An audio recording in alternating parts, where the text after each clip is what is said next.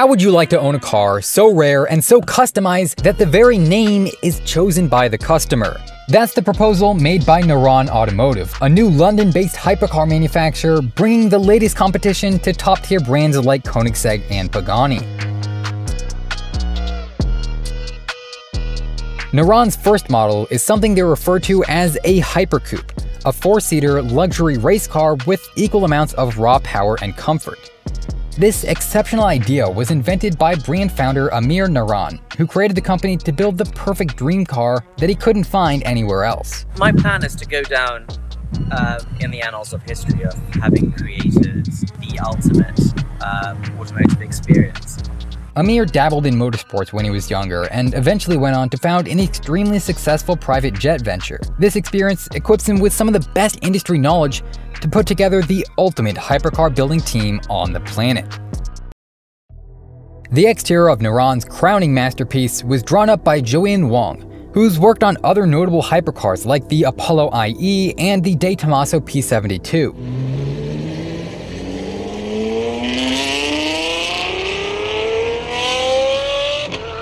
The front bumper is defined by an aggressive beak designed to slice through the air and help the car produce over 3,000 pounds of downforce. Of course, there's also a massive intake to feed the front mid-engine V8, as well as a set of highly detailed crystal headlights. The side profile has a similar shape to the BMW M8 that the Naran is based on, with shapely door curves and a contrasting strake cutting through it all. Here we can really see the copper-colored trim pieces slice through the rest of the design and stand out, as well as the color-matched hybrid carbon wheels. The back is highlighted by an eye-catching wing bigger than my dinner table and a diffuser that overrides nearly every other element.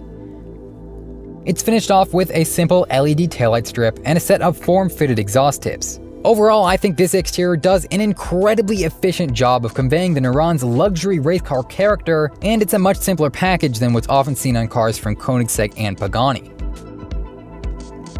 Now, sadly, there aren't too many interior details revealed yet, but we do know that former Aston Martin designer Kate Montgomery was hired to oversee the production of a perfect interior to complement the Naran's exterior. It'll likely feature Recaro performance seats, carbon fiber, and just as much customization as the rest of the Hypercoupe offers. Ameerh's previous experience in the private jet industry means we could also see exotic designs and materials, such as wood and marble, creating a lavish, comfortable environment. And best of all, it will seat up to four, so you can even bring passengers on your trip around the Nürburgring. I personally have been really fortunate in that I've been able to drive and or own most supercars and hypercars out there. And the one thing I felt was lacking was um, the ability to take your loved ones with you from personal experience, you know, when it, whenever I've, I've, I've owned a car within, you know, within the first few months or so, you get a real thrill out of driving yourself, and then you want to share it with the people who are close to you. And with most cars or hypercars being, you know, two seaters, I, I, felt there was a market out there for a really aggressive, high performance car um, that accommodated four passengers, um, which has brought us to where we are. Um, we're looking at being the you know a, a, proper hardcore street legal GT3 race car that's been made street legal and um, can accommodate four people. So you know you, you can take three of your friends or loved ones along with you for the ride. Speaking of the Nürburgring and racetracks and how the Naran performs, we've taken a decent look at the stunning design as well as the luxurious interior, but now it's time to discuss the performance. Both the Naran's frame and engine are derived from the M8. BMW's 600 horsepower V8 Grand Tourer has been bored out to 5 liters and given larger turbos by Racing Dynamics in Germany.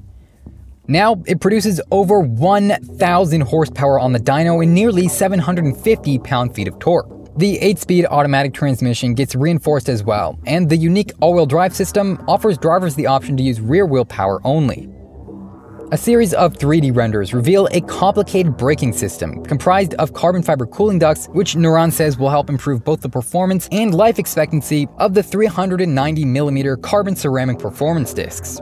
Here we can also see the double wishbone suspension arms that will help keep the Naran planted around corners.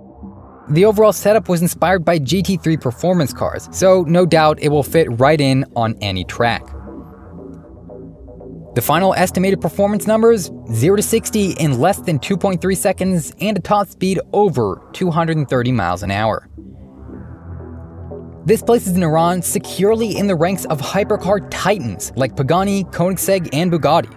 The starting price will likely be in line with these brands as well, meaning it could cost well into the seven digit figures. And then you get to a tier which is a little bit more special and rarefied. Um, where generally the costs are over over a million dollars per vehicle.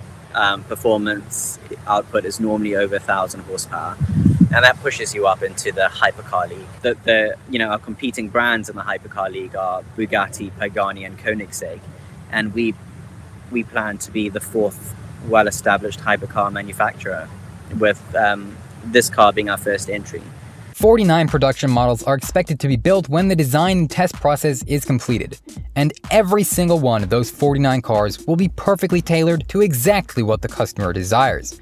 From the exterior paint and trim to the interior materials, and yes, even the name of the car. Our cars are very personalized to each customer, so much so that we don't even have a model designation for the vehicle. Um, that's um, designated by, by the customer. So the brand name is Naran, and the customer will name the model as they wish. The customization options are infinite. And personally, I think this is one of the biggest selling points for Naran. There's no established model name, and owners are left to decide what they feel best fits their unique build. Let me know down in the comment section below what the perfect name and design for your Naran would be. Personally, I'd love to own a gloss black model with sky blue carbon fiber accents and the same wheels as Alfa Romeo's Giulia GTA. You could call this spec Naran Quickshift. Now, of course, the Naran is still in its research and development stage, but the company is accepting order applications and production is expected to begin shortly. Thereafter, we plan to, to, to launch a convertible version, um, a version with a 6 litre V12, uh, an off road version. Uh, and then we're fo- following that, um, we, we will have um, a completely new platform for, for the next series of 108 cars. A rolling concept has already been assembled, which shows off a real world example of the design elements previously discussed. And I think if the final road model looks anything like the prototype, Naran could definitely offer some serious competition as the world's first hypercoupe.